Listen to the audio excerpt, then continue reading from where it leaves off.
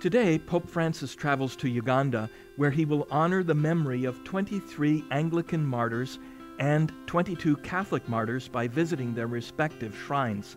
Hello, I'm Father James Kubicki, and it's been said that the blood of the martyrs is the seed of the church.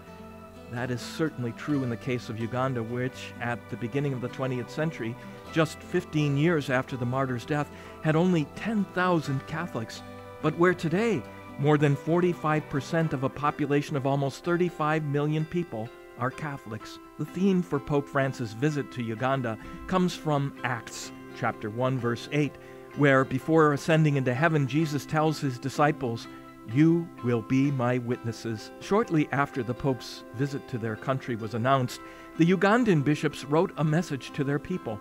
They said, "Uganda is a blessed land." Pope Francis will be the third supreme pontiff to visit us. No other country in Africa has had such a privilege. The Holy Father is coming to celebrate with us the 50th anniversary of the canonization of the Uganda martyrs, whose blood has been the seed of Christianity in our country. They laid down their lives as an example that remains to encourage all of us on our spiritual journey. The Pope's visit and presence during the celebrations requires us to prepare in a special way. The nature of this visit is primarily pastoral and spiritual. Coming to us, Pope Francis is carrying out the mission entrusted to Peter by Jesus.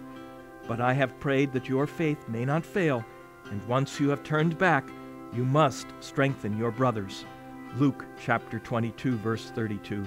Let's continue to pray for Pope Francis, in particular for his safety, and as our Ugandan brothers and sisters prepare to receive him, so may we receive his message as well.